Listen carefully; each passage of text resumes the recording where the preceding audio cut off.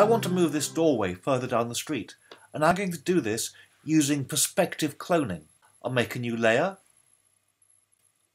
and I'll switch to the clone tool.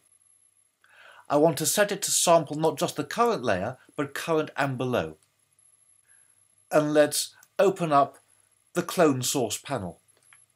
I'm going to hold Option or Alt and click in the top corner of the doorway to set the clone source point. And then go and click down here where I want it to appear. In the clone source panel, we're showing the overlay and it's currently clipped to the size of the brush. If we uncheck that, then there is our full size overlay. We can reduce the opacity so we can see the background through it.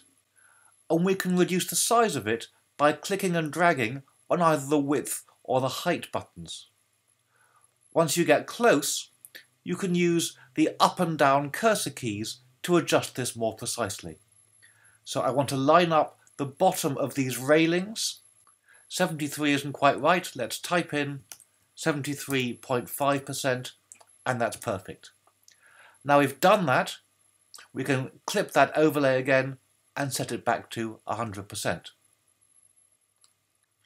And now we can go ahead and paint in this doorway and you can see how it puts it in in the correct perspective. We've cloned a bit too much of the door, so let's switch to the eraser tool. And now we can erase all the areas that we don't want included.